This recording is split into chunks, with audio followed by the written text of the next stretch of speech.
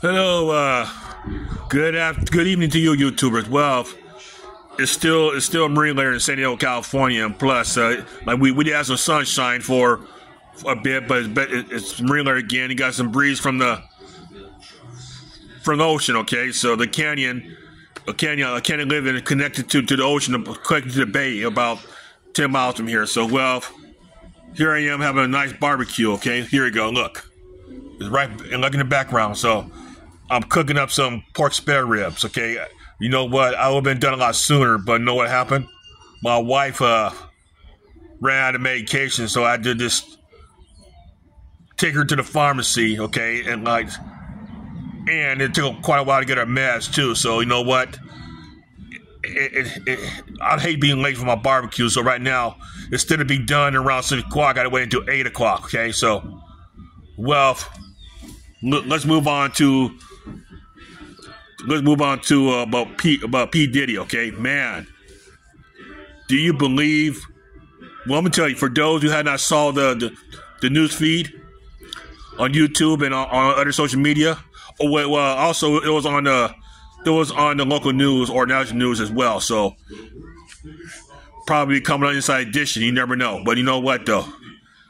Oh man, P Diddy, the hot water is in is turned up, man. It's gonna boil and boil and boil. Okay, you know what happened? Okay, years ago, a, a hotel video showed girlfriend, his girlfriend, well, actually ex ex girlfriend that is, waiting at the elevator. And you know what? Happened? Like, like next next scene, you see P Diddy wearing only a towel, ran down the hallway in the hotel room and then he met up with his girlfriend in the elevator. You know what happened? He attacked her. He beat her up. He kicked her. He kicked her on the ground. I saw. I noticed that he kicked her in the head. And I'm gonna tell you. I'm, gonna tell you. She, she probably was knocked out. Then he turned around and dragged her back. He he, he grabbed her, dragged her, dragged her down the hallway. I said, you know what though? P Diddy, man, you P Diddy, you're done, buddy. You're done. You're going. I'm gonna tell you.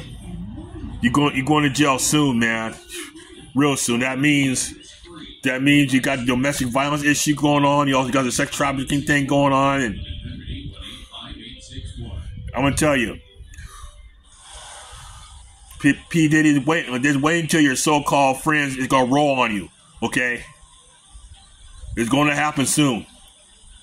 All right, P Diddy. So I'm gonna tell you, they better do something about P Diddy because uh, cause I'm afraid he he could do an OJ on somebody. Okay, that'll be real bad. So like I say, I'm gonna tell you, all the money in the world don't symbolize a thug, okay? I'm gonna tell you. I'm gonna tell you right there, but I'm gonna tell you that I'm gonna tell you it's true because when I say the truth, but just look around, okay?